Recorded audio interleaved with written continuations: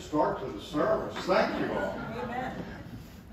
Welcome to the chapel. I'm Pastor Steve. Uh, Kent will be our leader this morning.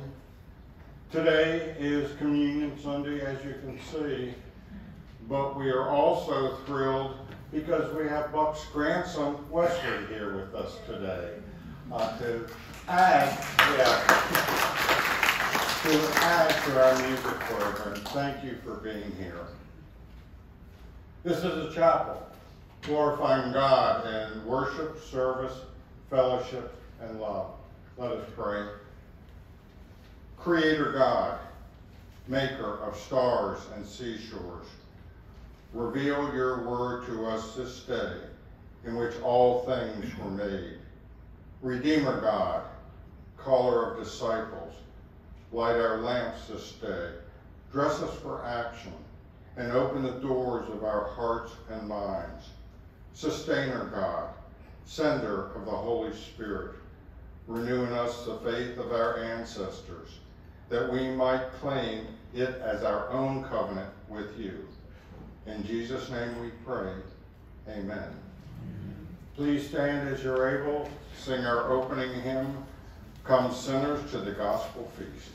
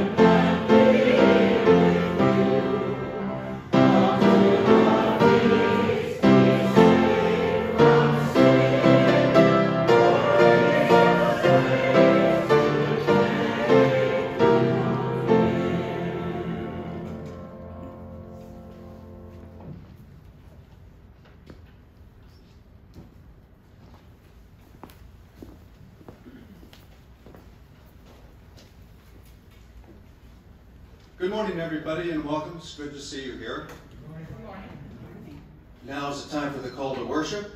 Please join me. God called Abraham and Sarah and promised to bless them.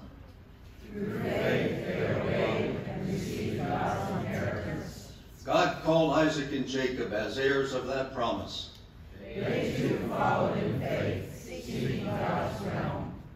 God calls us to join them as heirs with the faithful.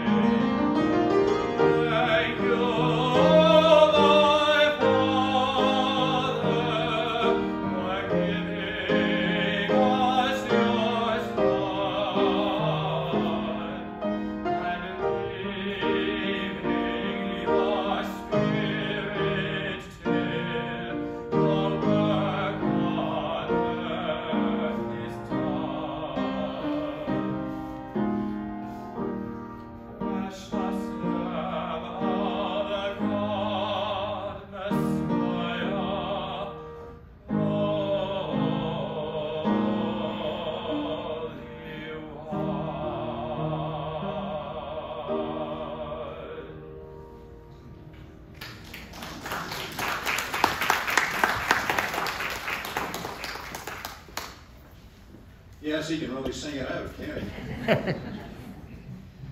Please join me in the prayer for illumination. Hear the word of the Lord and listen to God's teaching. For God's word contains warning and promise, a gift to be treasured and lived.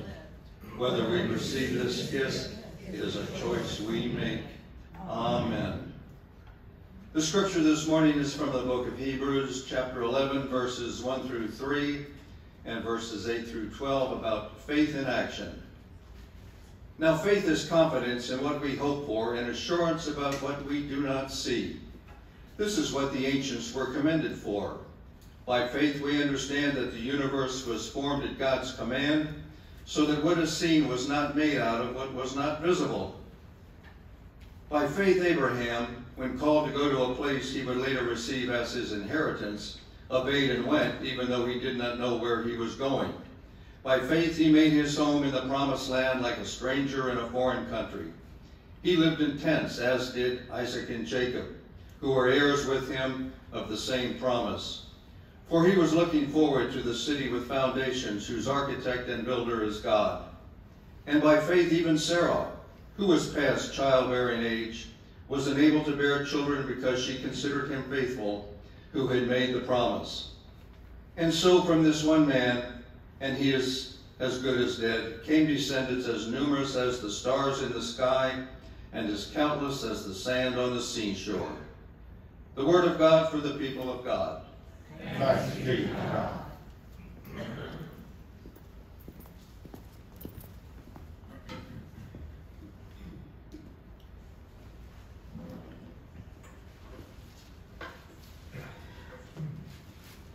Have you ever attended a worship service that seemed more of a show than worship? Have you ever sat in the service and thought, where's the magic? I don't mean that you come to worship to accept magic with a charming magician and his lovely assistant pulling rabbits out of everywhere. Now, you might enjoy that, but that's not what's happening today. See, I have no desire to make a spectacle out of worship. What I believe is there ought to be a sense of expectancy. When you come into the sanctuary, that something special is going to happen. As you enter, you're thinking that God is going to be present with us here this day. And the Holy Spirit enters with us. I believe the 11th chapter of Hebrews has that kind of magic. In it, the writer seeks to define what is faith. And it's clear he believes in the magic of faith. He begins with a definition. Now, faith is confidence in what we hope and assurance about what we do not see. By faith, we understand that the universe was formed at God's command. And so what is seen was not made out of what was visible. The writer is taking us back to the time when God said, Let there be light, and there was light. And then the writer of Hebrews take us to the first chapters in the Bible. He begins with Abel and shows how Abel's offering was more accepted than Cain's because of faith. And then he deals with Enoch, Noah, Abraham, Isaac, Jacob, Joseph, Moses, and yes, Rahab. All this shows the importance of these people who had faith. And then he adds more names. He adds Gideon, Barak, Samson, David, Samuel, and all the prophets who through faith conquered kingdoms, administered justice, and gained what was promised. It's a stirring chapter filled with magic that only God can perform. We see that same magic in our scripture the writer focuses on the 99 year old patriarch, Moses. I'm sorry, Abraham. Yeah, Moses got old, but that's a whole other story. We'll get to that another day. And Abraham discovers that his 89 year old wife is pregnant. That's pretty fantastic by itself. Listen as he describes this elderly couple. By faith, Abraham, when called to go to a place where he would later receive his inheritance, obeyed and went, even though he didn't know where he was going. There's no GPS, no maps to show that God said, This is where you're going to go, this is what it looks like. He had no clue. And he went anyway. And Sarah, by faith, well past childbearing age, God enabled her to have children. And from this one man, and the scripture says, as good as dead. He was 99 years old, and yet God promised there would be descendants. So many, as many as the stars in the sky, or the sand at the seashore.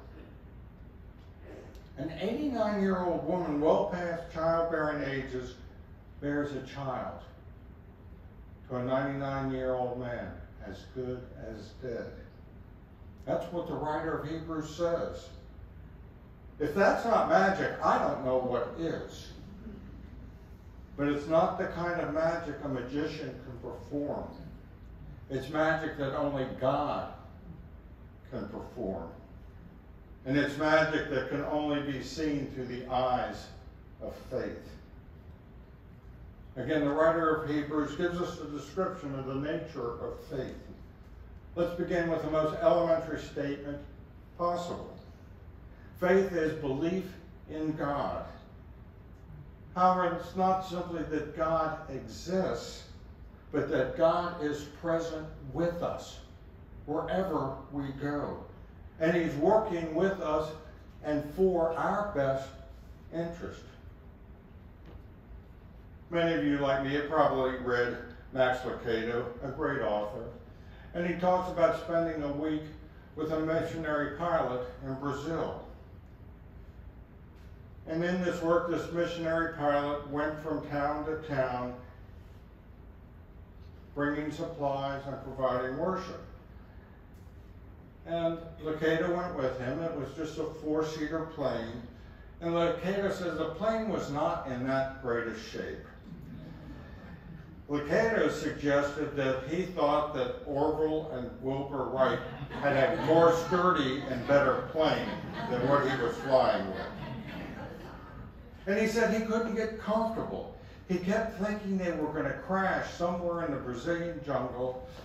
And his two options were he was going to be either eaten by piranha or swallowed by an anaconda. He said he kept shifting around in his seat, trying to get comfortable, holding on to the seat, fidgeting.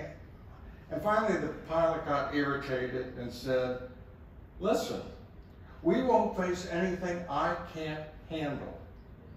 You might as well trust me to fly the plane. And my friend, that is faith.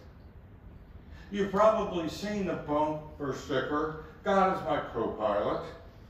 And that's the kind of faith that the Hebrew writer is talking about. But if God is your co pilot, swap seats. Swap seats. Make God the pilot. Let God take you where you're going to go so that eternal life will be open to you. God says to us, You might as well trust me to fly the plane. We need faith to trust Him. A woman named Etta Butterfield talks about her husband Ron, who once taught a class for uh, mentally impaired teenagers. He looked at the students' capabilities rather than their limitations. He called them all times the wonderful things. He taught them how to play chess, how to restore furniture, how to repair electrical appliances, things that many people thought they were incapable of. Most important, he taught them to believe in themselves. There was one young man named Bobby who in a short time showed how he hadn't got what they were trying to teach. One day he came in bringing a broken toaster under his arm and a half a loaf of bread under his other arm. When Ron asked Bobby about the bread, Bobby said, I brought it so I can have some toast after I fix the toaster. That's confidence. Confidence that he can do what he was supposed to do. Faith in God is like that. Don't bring in a toaster for repair unless you're also bringing a loaf of bread. Faith is belief that not only does God exist, but he cares for you and he will provide for you. That brings us to the second thing of what faith is. Since we trust God, faith is also living in obedience to God's will. This is where the rubber meets the road. Abraham just didn't believe in God's existence. He trusted God. Abraham went where God told him to go and did God what God wanted him to do. He obeyed God. We ask, Do you believe in God? And we say, Of course we believe in God. Everybody believes in God. We say, Do you believe in Jesus Christ? Of course we believe in Jesus Christ. I went to Sunday school. I learned all about Jesus in Sunday school. We ask, have you fully committed your life to Jesus? Enough so that you will commit all you are and all you have for him. And we say, hold on there. I'm not a religious fanatic, if that's what you mean. But I'm a Christian. I believe. Is that what it's all about, just saying, I believe? Somehow the writer of Hebrews in this letter, we read about victories that were won, persecutions that were endured. I cannot help but think that faith is such more, much more than saying, I believe. The writer of James, Jesus' brother, verse 219 says, Even the demons believe and shudder.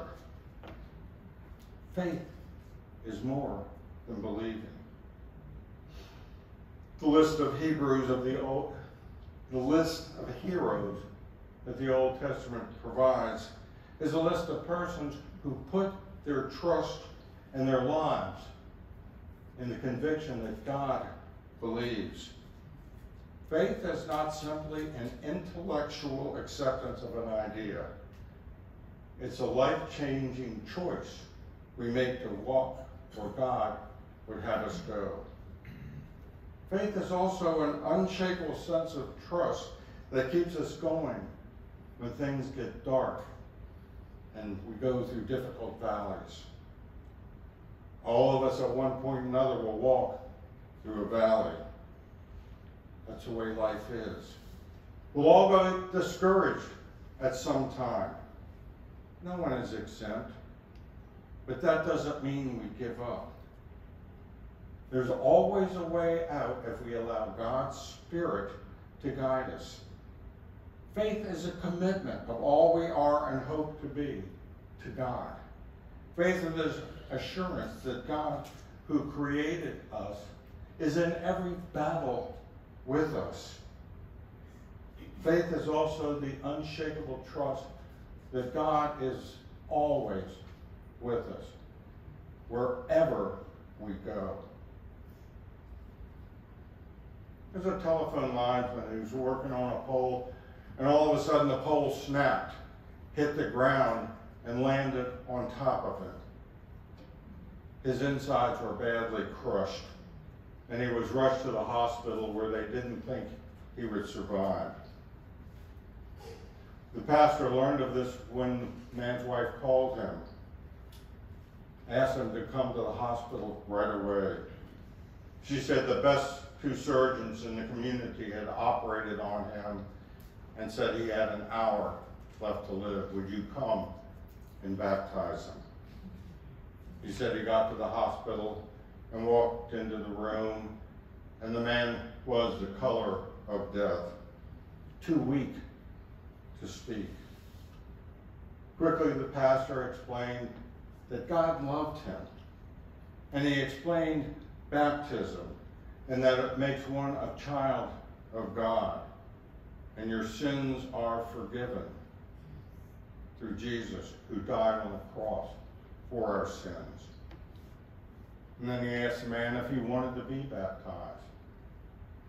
The man just acknowledged with a slight shake of the head because that's all he had.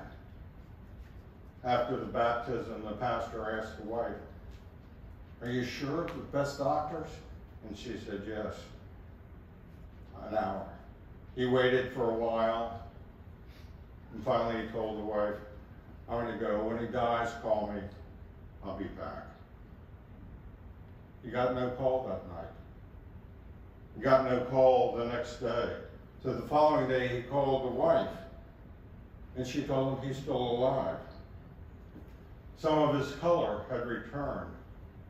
She said, After you left, he fell asleep for the first time since he had come in. He's even eating some. The man recovered completely. Several months later, he was back climbing telephone poles.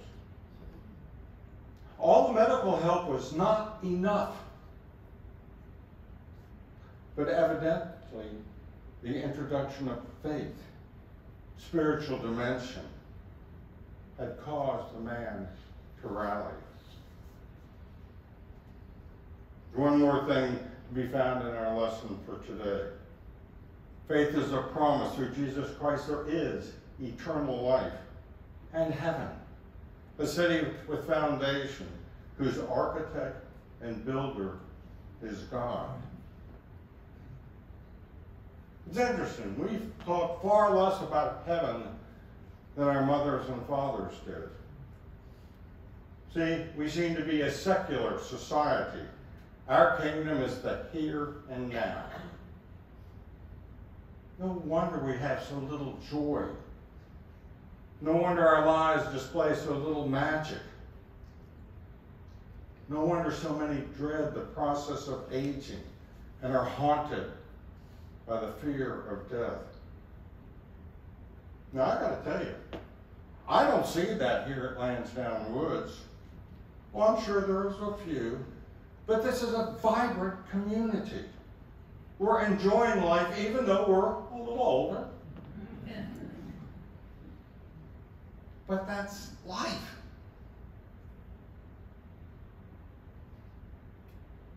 See, we believe that life does not end at the grave. We believe. And if you have faith, you're always looking forward. Positive expectations, unquenchable hope. Such a spirit comes from a lifetime of commitment and trust. It doesn't happen overnight, and it doesn't come easily. There are good days and bad days. But we always know that life goes on. And when it doesn't, we're in a better place. Do you believe in God? Yes, we believe in God. Do you have the faith of Abraham, of the promises of God?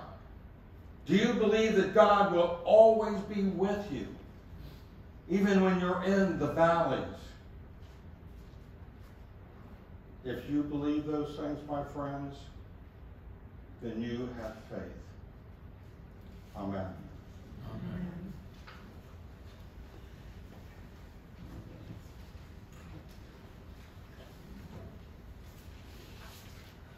Please stand as you're able. We will sing the hymn, Christ, we are blessed. And yes, we are.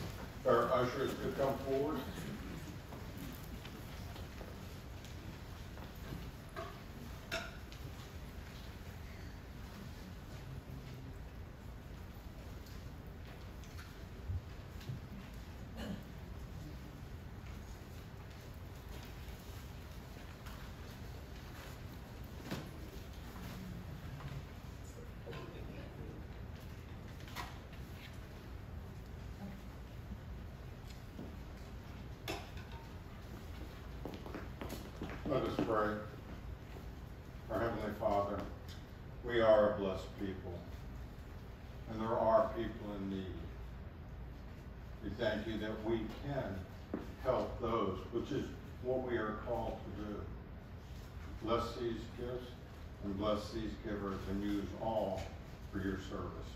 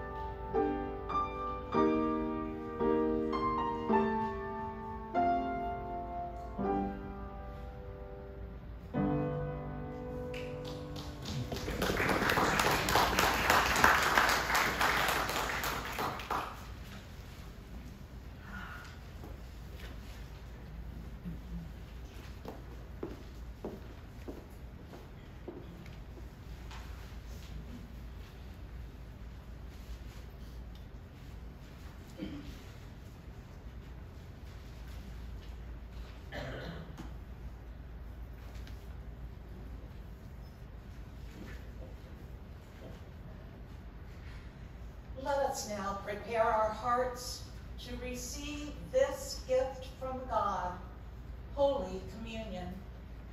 Here at the chapel, this is an open table. All who believe are welcome to come. Hear now this invitation.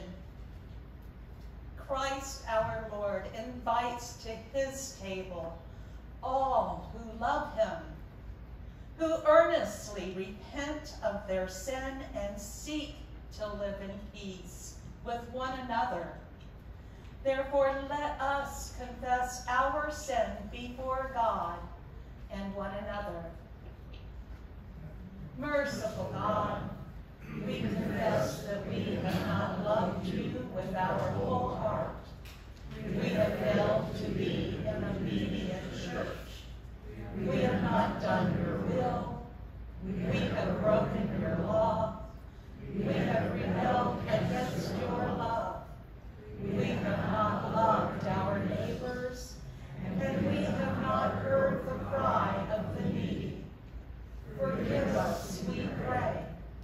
Free us for joyful obedience through Jesus Christ our Lord. Amen. Hear the good news. Christ died for us while we were yet sinners. That proves God's love toward us. In the name of Jesus Christ, we are all forgiven. Glory to God. Amen. The Lord be with you. And also with you. Lift up your hearts. We lift them up to the Lord. Let us give thanks to the Lord our God. It is right to give thanks. It is right and a good and joyful thing, always and everywhere, to give thanks to you, Almighty God, Creator of heaven and earth. You formed us in your image and breathed into us the breath of life. When we turned away and our love failed, your love remained steadfast. You delivered us from captivity, made covenant to be our sovereign God, and spoke to us through your prophets, who looked for that day when justice shall roll down like water and righteousness like an ever-flowing stream. When nation shall not lift up sword against nation, rather they shall learn war no more. And so with your people on earth and all the company of heaven, we praise your name and join their unending hymn. Holy, holy Lord, thou art power and might. Heaven and earth are full of your glory. Hosanna in the highest. Blessed is he who comes in the name of the Lord. Hosanna in the highest. Holy are you and blessed is your Son, Jesus Christ. Your Spirit anointed him to preach good news to the poor, to proclaim a release to the captives, and recovering of sight to the blind, to set at liberty all those who are oppressed, and to announce that the time had come when you would save your people. He healed the sick, fed the hungry, he ate with sinners. By the baptism of his suffering, death, and resurrection, you gave birth to your church, delivered us from slavery to sin and death, and made with us a new covenant by water and the Spirit. At his ascension, you exalted him to sit and reign with you at his right hand. On the night when he gave himself up for us, he took bread, gave thanks to you, broke the bread, and gave it to the disciples, saying, Take, eat. This is my body given for you. Do this in remembrance of me. And when the supper was over, he took the cup, gave thanks to you, Almighty God, and gave it to his disciples, said, Take, drink. This is my blood of the new covenant, poured out for you and many for the forgiveness of sins. Do this as often as you drink it in remembrance of me. And so in remembrance of these mighty acts in Jesus Christ, we offer ourselves in praise and thanksgiving as a holy and living sacrifice in union with Christ's offering for us as we proclaim the mystery of faith. Christ has died, Christ is risen, Christ will come again. Pour out your Holy Spirit on us gathered here and on these gifts of bread and cup. Make them be for us the body and blood of Christ, that we may be for the world the body of Christ, redeemed by his blood. And by your Spirit make us one with Christ, one with each other, and one in ministry to all the world until Christ comes in final victory and we feast at his heavenly banquet. Through your Son, Jesus Christ, with the Holy Spirit in your holy church, all honor and glory is yours, Almighty God, now and forever. Amen.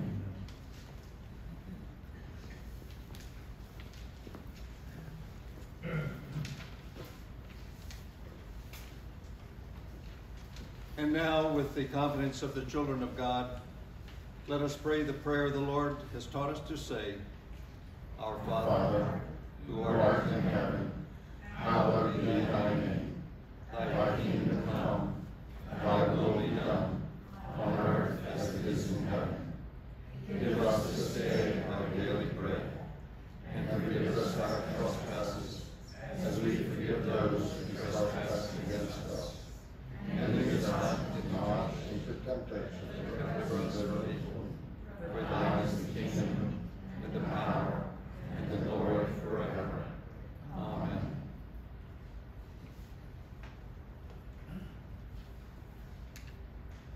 because there is one loaf.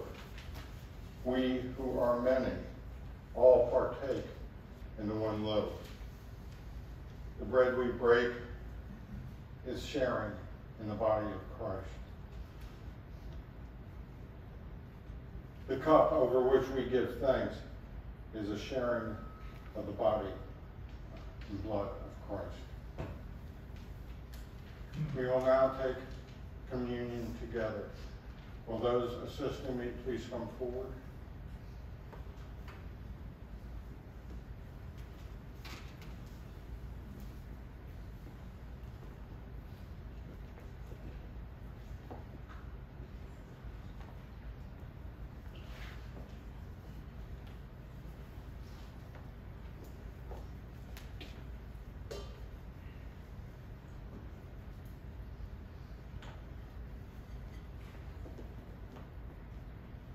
Body of Christ, broken for you.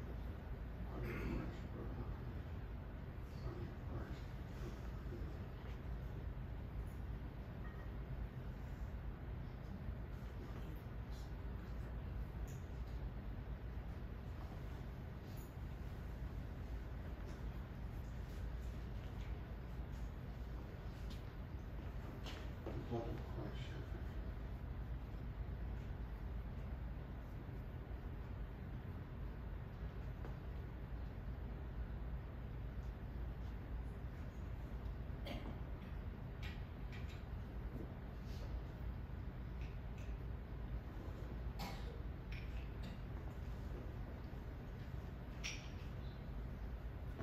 We will have two stations. Brenda Truddy will first take care of the choir. Uh, Kent and I will be over here taking this side of the room. Please come forward. You will be given the bread and the cup. You may eat them here, or you may go back to your seat, whatever makes you comfortable. Uh, Our ushers will have a plastic bag for, um, to take the cups once you are done with them, uh, and they will direct you to come forward. The table is set. We are at the banquet. We are sharing with all Christians everywhere the blood and body of Christ. Please come.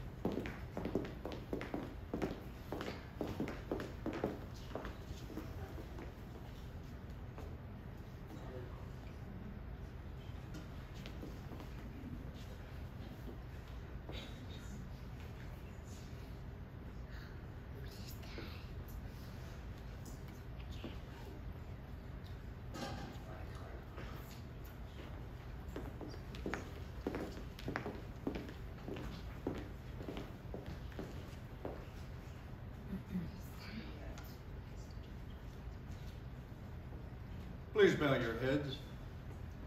Eternal God, we give you thanks for this holy mystery in which you have given yourself to us. Grant that we may go into the world in the strength of your Spirit and give ourselves for others. In the name of Jesus Christ our Lord. Amen. Please stand as you are able for our closing hymn, 438. Forth in thy name, O Lord.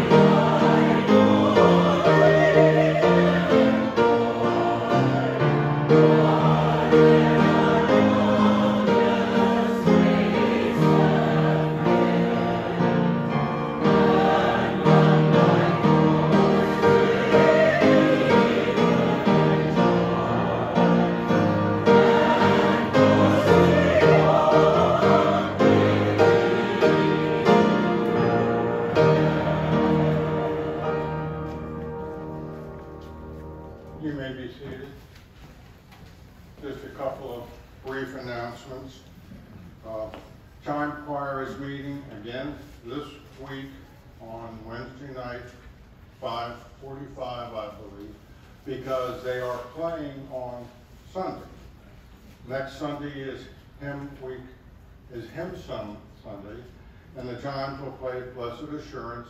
Uh, we can always use one or two more players, so if you can, please come out and join us. It's a lot of fun. Now, I mentioned hymn sing Sunday is next. Is she gonna come sing with us next Sunday? She is welcome. Uh, and after the service, we are going to have lunch.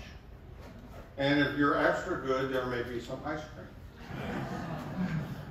But we need to know how many are coming so that we can have the right amount of food. So please let Thee or Laverne, I have enough food for everybody here. You bring a guest, that'll be fine too. okay, so, uh, I'm looking forward to, it. it's gonna be a lot of fun, okay, so, uh, and the hymns we are singing, you all chose. I didn't choose them. The, the six most popular songs that you sung, that you asked us to do, and so that's what we're going to do. Um, I didn't have the flyer put in the bulletins, there is one on the back, but with the activities committee here and with our con- congregation, with our Jewish friends here and our Catholic friends here, there is a Rise Against Hunger uh, feeding that we will do the packing in October. We need to raise five thousand dollars, hold your breath, just a second. We have to raise five thousand dollars so we can feed fifteen thousand meals, I believe is what it says we're going to do. Now, the good news is the activities committee has already collected two thousand. So I see that we, as our congregation, need to raise one thousand. Our Jewish and Catholic friends can raise the rest, and Activities Committee is still doing things to raise money. But this is a world worthwhile thing we need to feed, and a lot of this goes to children, uh, because they take it to where they are, to schools and other things, because you can't learn if you're hungry. So this is a worthwhile thing for us to get involved in, and that we can do, and we can partake in the packing. I assure you, everyone here, if they desire, can take part. It's a great program. Faith. Abraham had faith. We got GPSs, we know where we're going. Well, sometimes it gets you lost, I admit. I've ended up in a field when we're supposed to be at a restaurant, but. And we believe in heaven. We need to have faith in God to get us there. Simply saying, I believe, is not enough. We need to live our faith, which is why we take part in the missions we take part in. In the feeding in Loudoun, and the feeding of children, and the feeding of people in the world. Faith. Believe in God. And as I say, the rewards are heavenly. In the name of the Father, and the Son, and the Holy Spirit. Amen.